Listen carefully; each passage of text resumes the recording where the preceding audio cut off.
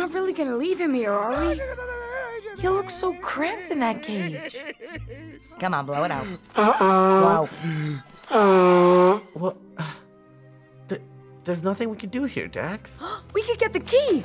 No, kid. That's impossible. Why? Where is it? Down there. The chef keeps that key on him at all times.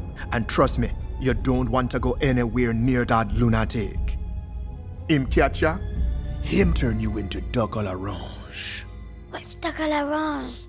It's you, with L'Orange on top.